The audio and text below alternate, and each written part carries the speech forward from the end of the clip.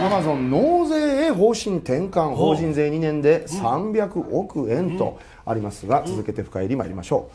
う。共同通信によりますとインターネット通販世界最大手のアマゾン .com が日本国内の販売額を日本法人の売上高に計上する方針に転換し一昨年と去年の2年間で合わせて300億円近い法人税を納付していたことが分かりました。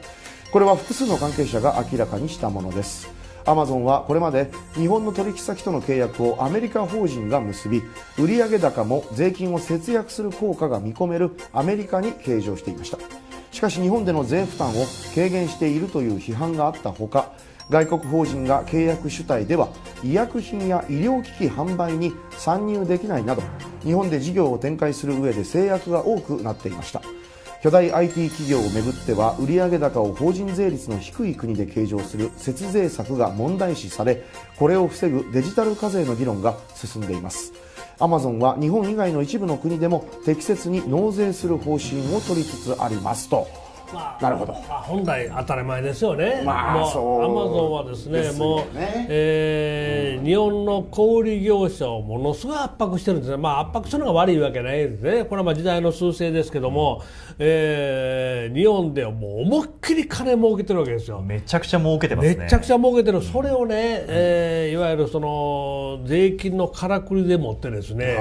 えー合法的に日本には、ま、それまで全く税金払ってなかったんですよね、おかしいですよ、普通に論あの論理的に考えておかしいですよね、そのに実際に日本で儲けてるわけですから、えーそれをそのアマゾン、世界のアマゾンと全体の中では全然儲けてないからとかいう話は通用しないですよね。えうん。でもまあちょっと若干、えーそれが是正されていったということは、まあまあまあいいことかなと思いますね。そうですね。ただもっと遡れよっていう声はうん自然と出てくるんじゃないかなと。ん。まあこれはあくまでこれ一昨年と去年分でしかありません。しまあ実際には税金の、お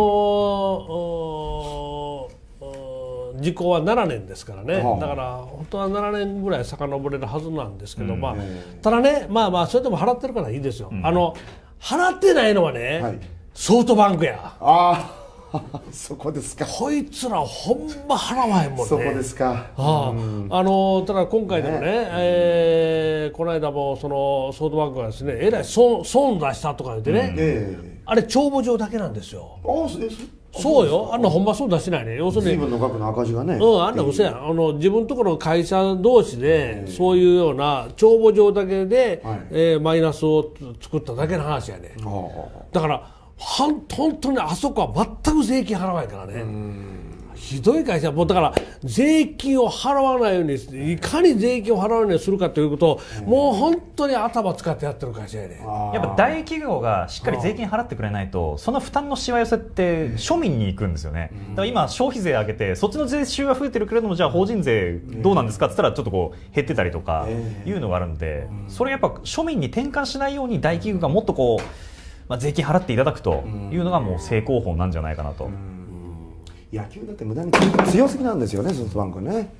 クラ クライマックスシリーズだって西武に4勝0敗でそうですね。日本シリーズも巨人4勝0敗でしょ？普通は4勝2敗とかね3いや敗とかちょっとそん